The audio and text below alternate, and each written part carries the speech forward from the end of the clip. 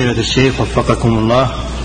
يقول تقسيم التوحيد إلى أقسام أربعة الربوبية والألوهية. ما فيها أربعة.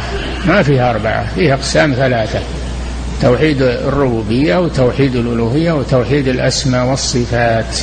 ما فيها أربعة. نعم. وش يقول؟ وش الأربعة؟ الرابع توحيد الحاكمية يقول. الحاكمية يا أخي داخل في الألوهية.